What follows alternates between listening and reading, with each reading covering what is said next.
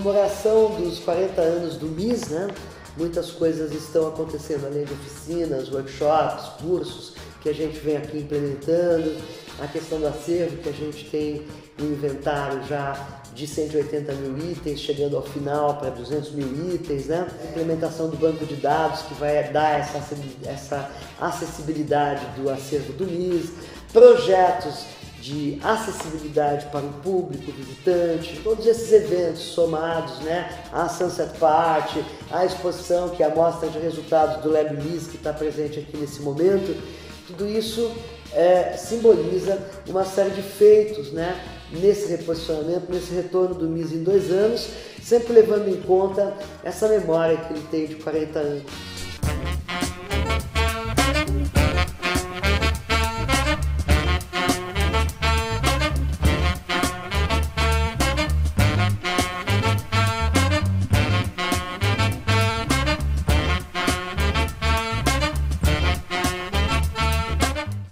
Tem esse caráter híbrido, né, multidisciplinar, porque o próprio acervo do MIS já era híbrido na concepção do MIS nos anos 70, né?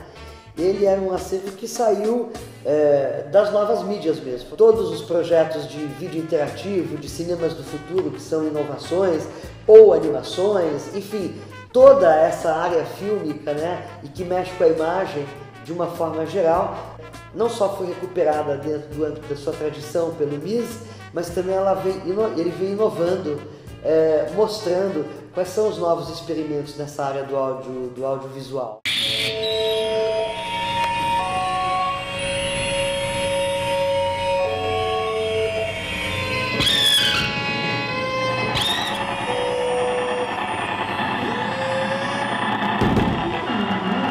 Uma das coisas que mais uh, me fascina, né, dentro dessa amostra de resultados do Lab Miss, por exemplo, é ver como era o projeto inicial de cada artista e no que se transformou o trabalho no decorrer e no processo, né, em contato com críticos, com outros artistas mais experientes, né?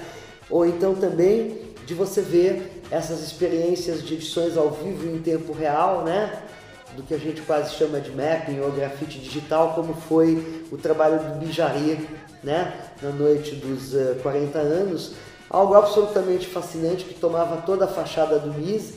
e você via nas pessoas que passavam pela, pela rua, né, é, a curiosidade, os carros parando um pouco o trânsito e as próprias pessoas na Sunset Party entre estar dançando e tomando uma cervejinha e ir até o mapping para olhar aquelas imagens, né? Esse ir e vir, essa festa, né? de estímulos sensórios, né, que as artes visuais e a música, né, podem trazer, são realmente uma celebração, eu acho, é, dos nossos tempos.